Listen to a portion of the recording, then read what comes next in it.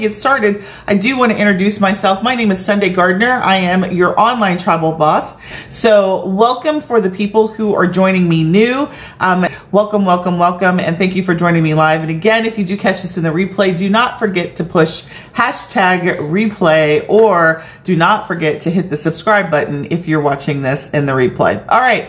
So that's who I am. But today what we're going to be talking about is what? Hold on, I wrote it down. What are we going to be talking about? We're going to be talking about three things that are really killing your travel business, right? We've alluded to some of those things that we've talked about, but we're going to specifically be talking about those things that are killing your travel business and are preventing you from seeing the continued success that maybe you've had early on or the success that you are chasing after.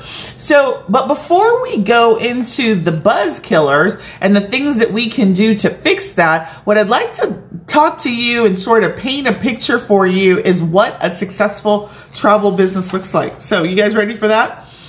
All right. So, number one, here is what success in your travel business looks like. So if you're not experiencing this, you absolutely are in the right space. But really, I'm talking to our agency owners who've been in business for some time. Maybe they're in a bit of a rut and they're really desperately wanting to grow their business bigger than it ever has been before. Even despite the fact that we're in uh, a pandemic, they want to position themselves to be ready for the floodgates to open, right? So newbies, I want you to hang on. I'll be talking to you at the end, but really I'm talking to the agency owners that have been in business for a while. Okay. So this is what your successful travel business should look like now. And if you're a newbie, I want you to pay attention because this is applicable to you because this is what you want to strive for. Number one, success looks like you know who your audience is. You know who your ideal client is. You're not trying to market sell to the masses. You know specifically who it is that you want to work with. If you're super clear about that, then that's what success is, right? You're not all over the place trying to talk to every you know person that's breathing to sell travel to. You're super clear about who what who your audience is what they need and what they want right? That is what success looks like in your travel business. And the reason why that success occurs when you know your audience is simply put you know who you're after, right? You're not trying to divide your time between, you know, people who are interested in weddings, people who are retired, people who are uh, family members with, you know, uh, who have family with young children, right? Your focus is on one prize and that prize allows you to align your money, your time, everything about your business to that one purpose and that's fulfilling the, that particular client's needs. All right. Hopefully that makes sense. Number two, success looks like you are focused on sales and marketing. You are not worried about ancillary activities that make you feel good, but don't get you to more sales, right? So you're focused on the right thing because you know who your client is and you're doing activities on a consistent basis that are going to move your sales numbers and ensure that you're closing clients, right? So success is I got a steady stream of clients coming in, right? Which then means I've got a steady stream of uh, sales coming in, right? I'm growing my sales. That is a consistent item that I can count on right? There's not the hills and the valleys and the roller coaster of revenue because consistency is a part of the, the success that my business realizes, right? So that's a number two factor of what success looks like in your travel business. Number three is that your clients are your biggest fans, right? Like they love you. They like they they think that you're the bomb.com. Like there's no question in their mind that when they think of travel, they think of you because you are amazing in their eyes, right? So that's what success and successful travel business owners have in their business and or what you're striving for. So let's now jump into the buzz killers to that success. Now that we've set the groundwork, we understand what success looks like. Let's talk about what the buzz killers are. You guys ready for the buzz killers? All right. So the thing that I want to do before we talk about the buzz killers is I want to talk about like, you know, we're going to really in this next sort of section of this training really talk about what's happening in your business, maybe the activities that you're working on. And then I'm going to give you some uh, insight to resolution. So it's going to be like, here's the thing that you've got that's going on or doing in your business. Here's the resolution for that and some tips around that. So you're really going to want to get some paper and a pen this is going to be power punched full of information and tips for you to be able to, at the end of this training, take some action. Hopefully you guys are ready for that. Number one, buzz killer is this is for newbies and existing people. Maybe you jumped into becoming a travel professional, business owner. You decided to start your business. Maybe you're in the business for greater than a year because those are the people that I want to be talking to today. And you continue to work your business without a clear audience defined. Meaning, I was just talking to someone, I think yesterday or maybe even was today, a prospective client, and they were telling me that they are posting on uh, their, uh, I think they have a group, and they're posting in their group packages every single week. New packages, new packages, new packages, right? All over the place, right? So they're desperately trying to find new packages every week to post because that's the environment that they've created. But their audience is not, it's not packages based on what their audience is interested in. It's packages that they're thinking of to try and get their audience interested, right?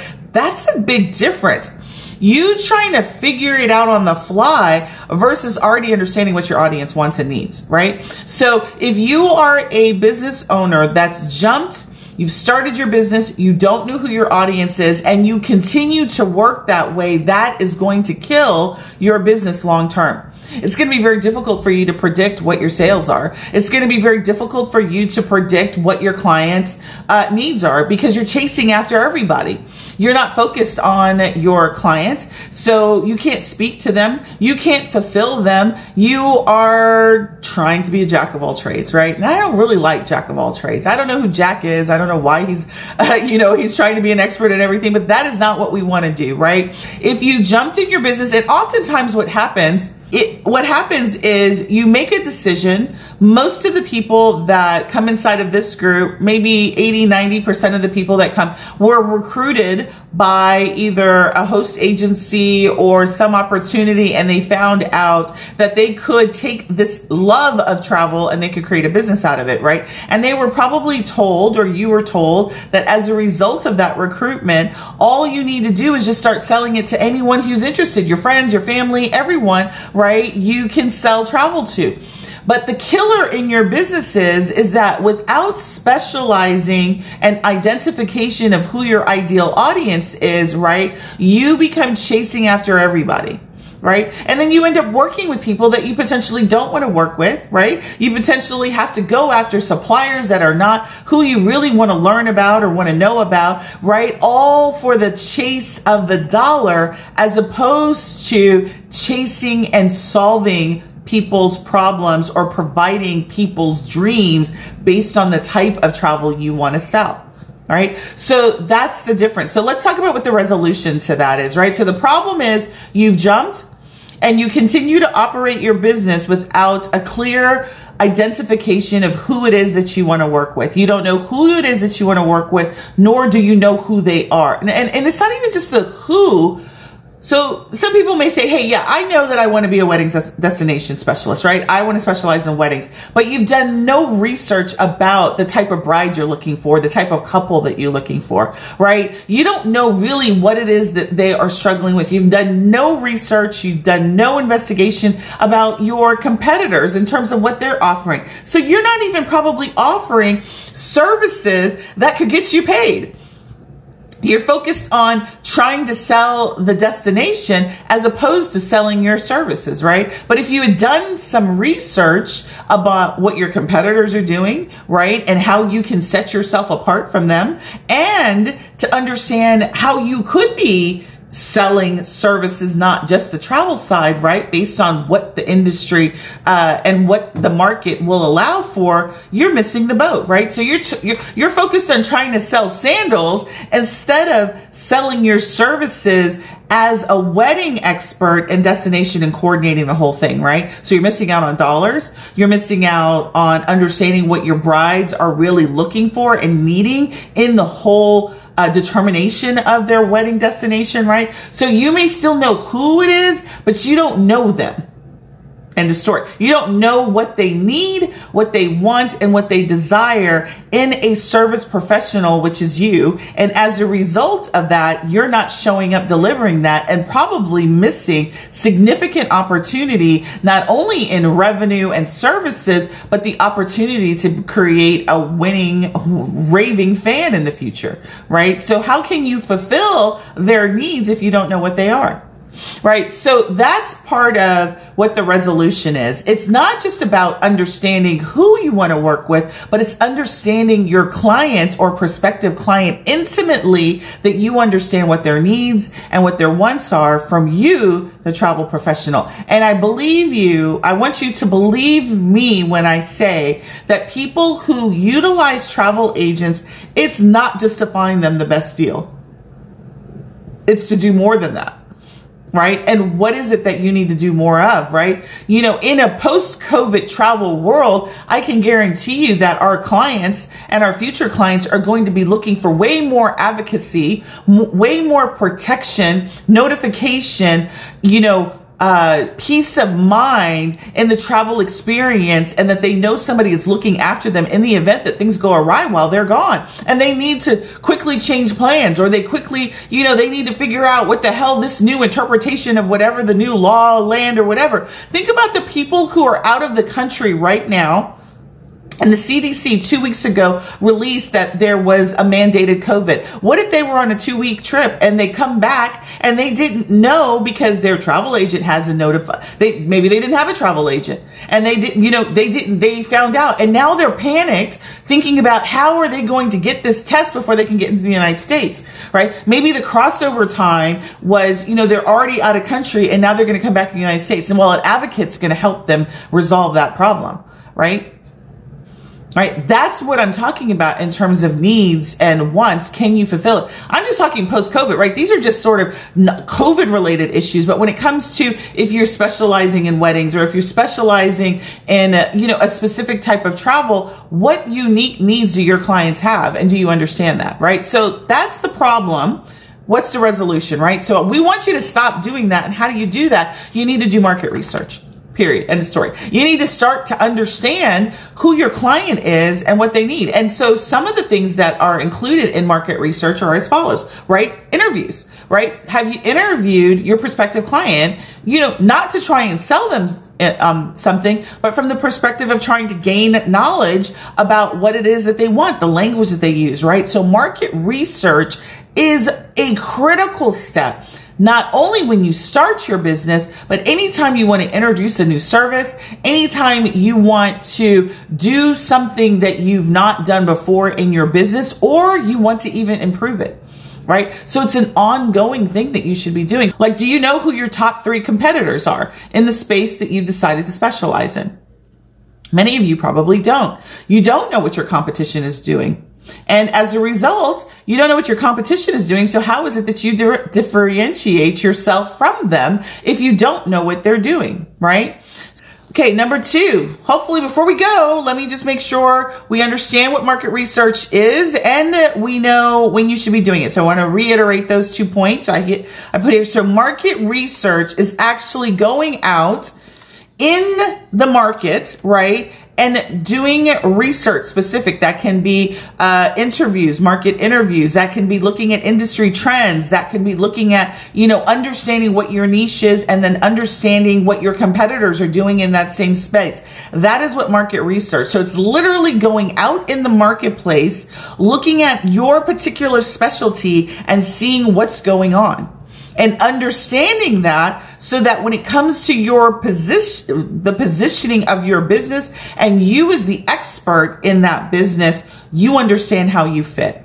Right. So again, I hopefully that makes sense. Now, when do you do it? I mentioned this before. I just want to reiterate. You do this when you get ready to introduce a new product or service so at the beginning of your business, right? And then you continually do it to ensure that you're not missing any trends, right? Let me give you an example of a company, not travel related, that didn't do market research ongoing and is now out of business, Blockbuster right? I did a, uh, I read a story about Blockbuster and the demise of Blockbuster. I think it was a case study a couple of years ago. And Blockbuster, you know, they had the market locked down when it came to video rentals, right? But they were not in touch with their client base, right? And the trends that were happening. So what happened? Netflix, they pretty much put them out of business, right? Because the trend was being able to watch movies on demand. So Netflix, I don't remember if you remember back in the day, Netflix started with a membership where they would send you videos and you remember you had those little envelopes and you sent the videos back and you got the ability to watch videos on your own space without the rental fees.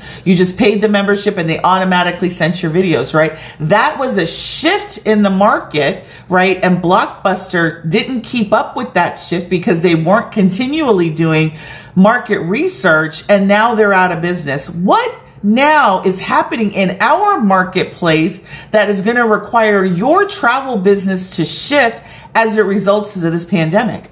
right? As a result of now a change in arms. We've got a new president, right? Is there anything that we need to be aware of and shift our business to accommodate our clients better so that we don't miss the boat and we we look up and we're out of business? Right? This is the kind of stuff that you need to be doing when it comes to market research. You need to understand what's happening from a trend perspective. What do your clients want, right? And I would tell you, we are all online businesses. And if you are not accessible online and you call yourself an online business, what are you doing? right? You're not a brick and mortar. How do people get a hold of you? How do they access you? What the trend is from a user perspective is people want access to their service providers. So that's you, right? How accessible are you to your clients, right? I'm not saying you have to be accessible 24 by 24 by 7, but you need to be super clear what that availability is and how they get in contact with you, right? Phone, email. It's it's additionally also amazing to me when um, I talk to prospective uh, travel clients, not travel business owners, but travel clients, and they say that, yeah, I reached out to so and so travel agent and they never got back to me.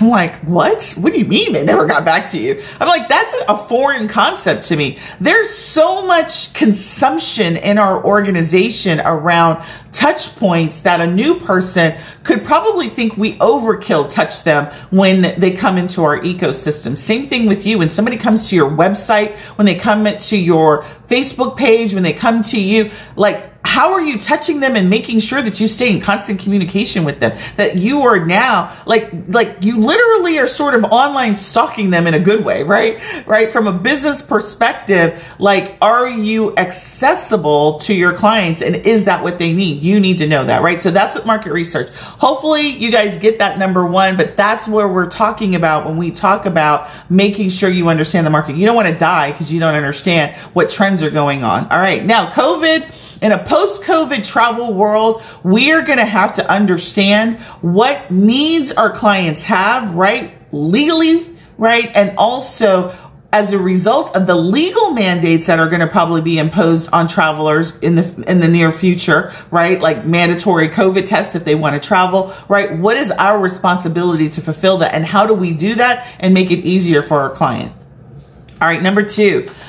You so this is number two buzz killer to your business is that you are focused on the wrong activities. They don't lead to the big C, right? And the big C is conversions, right? Or clients, right? Whatever you want to call the C, but the activities that you are doing do not directly lead you to the big C.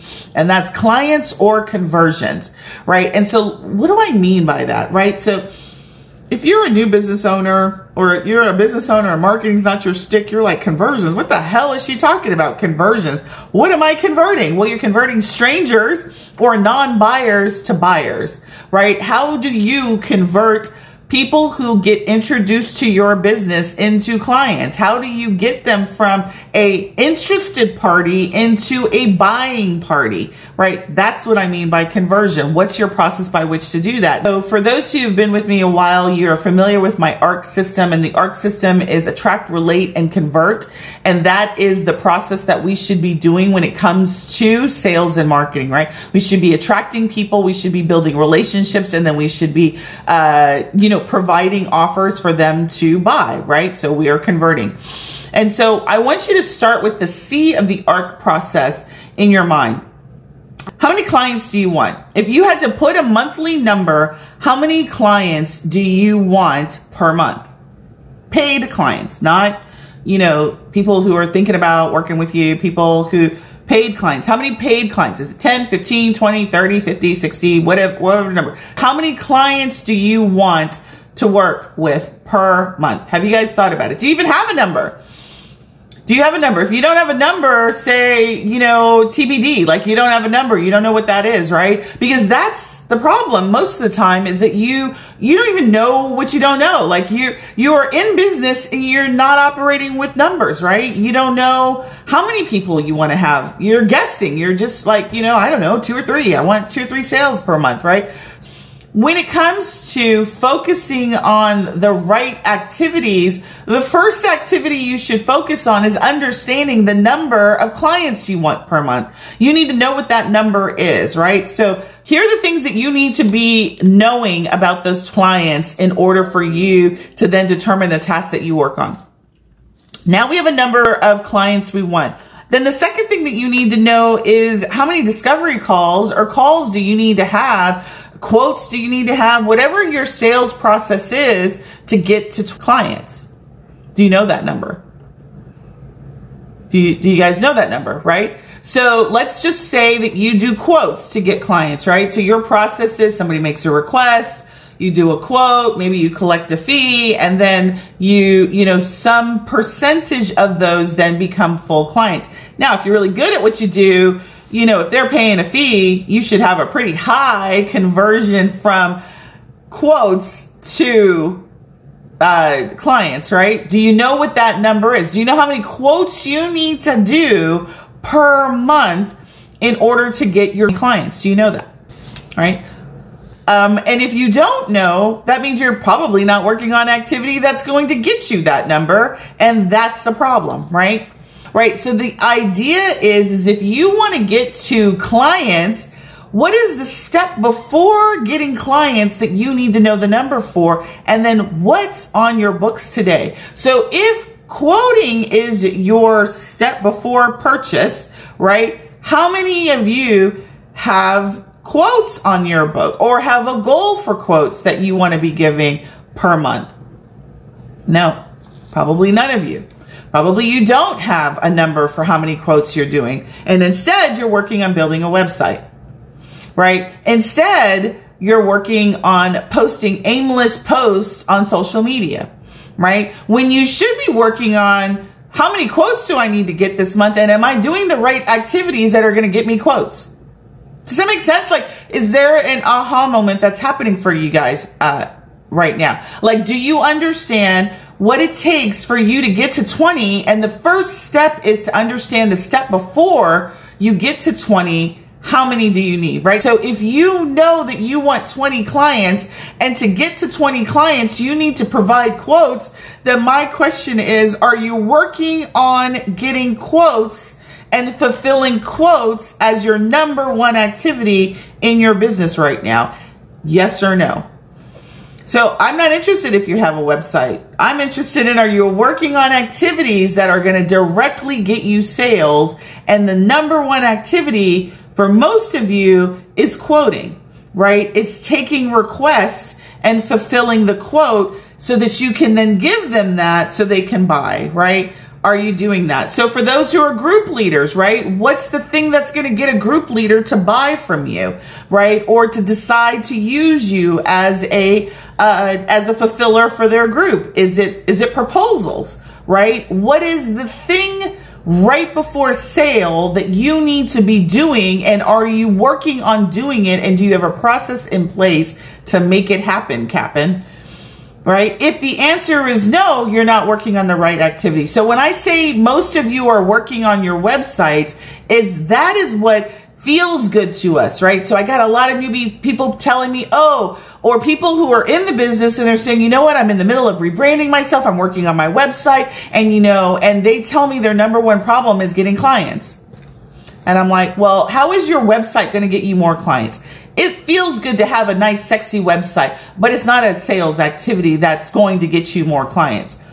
Working on paid ads to your website that goes to your booking page will get you more clients directly. But just generally working on your website isn't going to get you more clients unless you're driving traffic to your clients, right? Does that make sense, right? So the activities that you're working on do not directly relate to you getting more clients. So now the step before getting quotes is leads, right? So how many leads do you need to get in order to get to your 100 people. You need 20, you want 20 clients. You need, you need to have given 20, you know, 100 quotes in order to get 20 clients, right? How many leads do you need to have coming in monthly to get to 100 uh, quotes? Right? What's your conversion rate from leads to quotes? Right? Do you know that? And are you chasing after getting leads? Or are you posting on social media random packages to a group of people that are not even your ideal client. What are you working on? What are the activities that you're working on that are going to get you to your goals, right? And so what I want to do is I want you to make this shift that you are a sales and marketing engine. And if you don't know what that means, that is what you need to be after. Getting the knowledge so that you can shift your mind from doing administrative, useless, aimless activities in your business to working on things that are really going to make a difference in how the success of your business is going to come to fruition, right? So hopefully that is making sense. You're making that, you're connecting the dots, right? We want 20 clients. I need X number of quotes per month. And in order to get X number of quotes, I need X number of leads who are introduced to my business or existing people who have not bought that I'm creating an opportunity for them to do a booking request from, right? Does that make sense? Hopefully that that that's resonating with you guys and that's clicking, right? Is that we're not focused on the right things. We're focused on all this administrative hubbly-goo, goobly-ga, or whatever you want to call it, that makes us feel like really busy entrepreneurs, right? Because in this society, if you're busy, that means you're successful. And the reality, I call bullshit on that. I don't want to be busy and broke. I want to be not busy and rich, right? I want to be not busy and rich. Like, I don't want to be, I only want to work on the things that are going to get me and move the needle. And I want I want somebody else on my team working on the other hobbly goose stuff that needs to get done, but is not something directly. Or I'm putting in a team of sales and marketing people and that's their focus is they're focusing on moving my line, right? They're focusing on getting me leads, right? There are people that can work your system to get you new leads, right? And I'm not talking about buying leads. I'm not talking about buying, you know, the hopes of people that are your potential client, but I'm talking about really understanding your potential client, getting them into your ecosystem, into your process and you working it, right? How do I get leads? How do I how do I know who my market is, right? You know, I'm going to address that in just a minute, but these are all great questions because the important thing is is that if you don't know that this is what you're focused on, then you're focused on things that don't get you what you need and we just kind of go in circles, right? So you want clients, you want more money, you want more time, you want a better business, you want to be successful, you want to be fulfilling people's dreams and passions and all of that, but you're not doing the activities that are ever going to get you there, right? That's a that's a freaking business killer, right? Number 3. All right, so hopefully you guys understand number 2. Number 3 and the final one and then I am going to skedaddle out of here Cause, you know, I've been throwing some fire. Are you guys getting some value out of this? Are you guys getting some value out of what we're talking about today and how you need to make some shifts in your business so that you can eh, actually ensure that you are seeing success and not just busy work. I don't want to be a busy entrepreneur, unsuccessful right? And success is not driven by how many hours a day I'm working in this business, right? You know, I'm slaving my nine to five. I'm burning the midnight oil, you know, and I love, I always think it's funny because I used to be that, that, that entrepreneur, right? Working a full-time job. I'm up at 2 a.m. and I was like, yeah, I'm, I'm feeling good. I'm working on stuff, right? I'm working on my website. I'm working on my post plan. You know, I'm working on images. I'm working on all this stuff. But all the while I was avoiding having conversations with clients because I was scared to to realize I was one I was I was desperately scared to talk to people like I was I'm a great you know, you know, I'm very talkative. I don't have a problem talking, but I was scared to sell. I was scared to think of myself as a seller. So I was doing all these things that were non-sales activities that weren't getting me in front of my ideal clients. I wasn't having conversations, right? I was doing all this other stuff, right? That made me feel good, made me feel busy, but it wasn't making me money, right? And the things that I thought were making me money, right? I was dibbling with my Facebook ads account. I could get leads all day long, right? But I wasn't building relationships, right? So, you know, I could make offers and I was selling a little bit, but I wasn't aggressively after it from a process perspective right? So our organization wasn't aligned around the touch points, the relationship building, the conversion, right? We were not around even my own ARC system, right? I was great at attracting. I was so, so good at conversion. I was okay at like peripheral relationships, right? I was okay with doing lives, but I wasn't offering anything at the end because I was like, no, I don't want to sound too salesy. No, be clear. I'm going to drop great value, but at the end of this, I am going to extend an opportunity to work with us and learn how to do all of these successful items inside of our program, right? There's no question about what I'm here to do, right? It's to get people and to help them have successful travel business. I understand our mission. My team understands their mission and hopefully you understand my mission, right? It is to make you successful. This training is just the iceberg, right? This is the things that you need to do, but the program teaches you how to do it, right? So that's where I want to make the difference. So when you come and you show up in your groups and you show up in your business, what are you doing to be a sales engine, a sales and marketing engine, right? Keep your eye on the ball don't be over there looking at the flies and the butterflies, right? Keep your eye on the ball. And the ball is your business and the products and services that you offer and positioning yourself as the expert to offer that. All right. Number three, number three is you're not focusing or allocating sig- not significant amount of effort, right? Money, time, all of the above on client fulfillment. And let me talk about that. We spend a lot of time hustling to get clients. But we spend very little time keeping those clients, making them happy, making sure that the experience is seamless, making sure that they are fulfilled. Now, don't get me wrong. I'm not talking about the jerk client on the back end that you did everything you possibly could and he you couldn't please him, you know, if you if you sent him to the palace, right, with, you know, servants and butlers and all that and still he wasn't happy, he or she wasn't happy. I'm not talking about that, right? I'm talking about what is your fulfillment, not only your delivery of your service, right? Is it seamless, easy, consumable for your client? And do you have a follow up process? And then how do you continue to keep that relationship hot and burning even after they've utilized that first service, right? Are your clients happy with what you've done? And if you don't know the answer to that, then how, how are they going to become raving fans?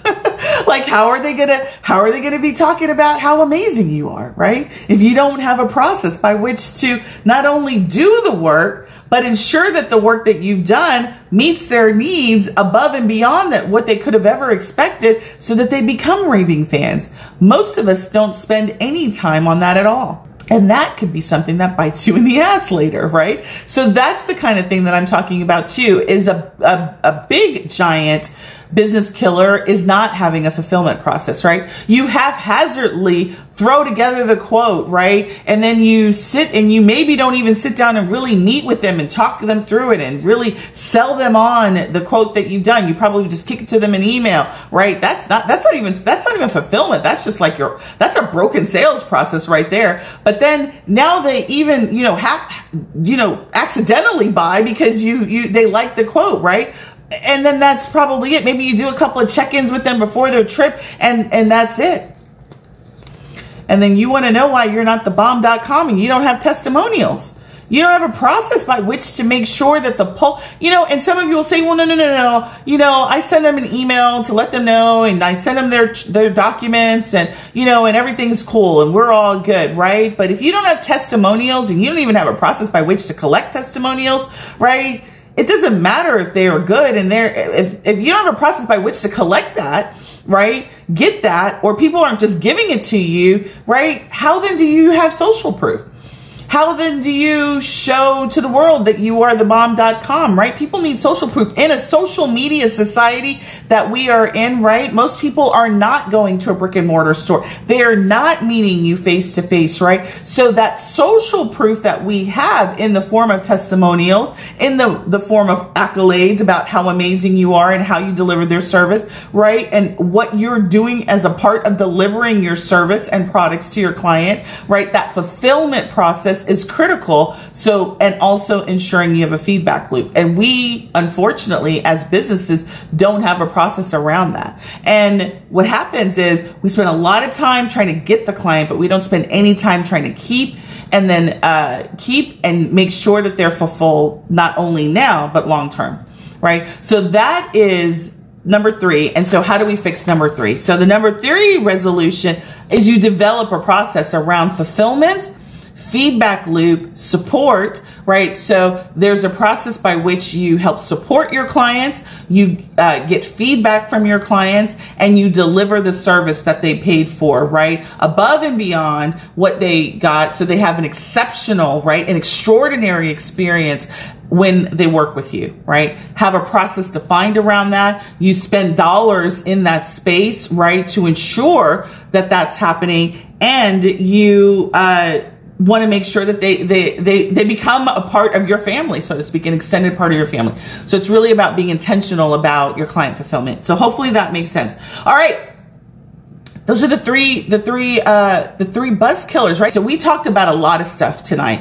We talked about, you know, the importance of, of, you know, ensuring you understand what your sales process is and you're focused on that. You understand who your audience is. You do the market research. You got some people ask, how do you, how do you identify your market? Who is your clients, right? How do I get leads? What, what do I do with them when I have them, right? That's what our travel passions to profit program does.